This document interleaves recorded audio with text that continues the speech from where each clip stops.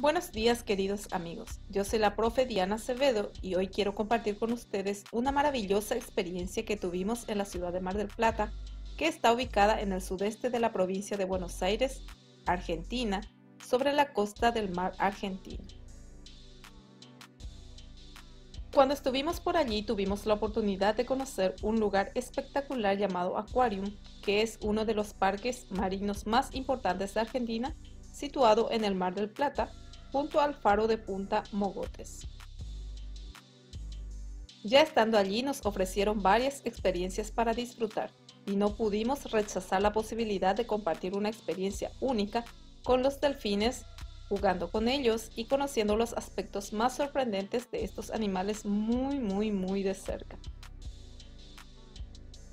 Acompañados de sus amorosos y atentos cuidadores, pudimos dar algunas órdenes a estos mamíferos tan hermosos, que realizaron con movimientos de sus aletas caudales y pectorales.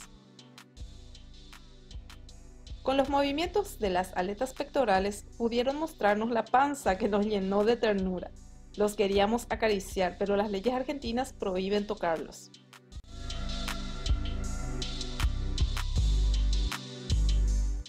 Luego el instructor nos enseñó otras órdenes que hicieron que estos magníficos animales dieran saltos variados en grupos.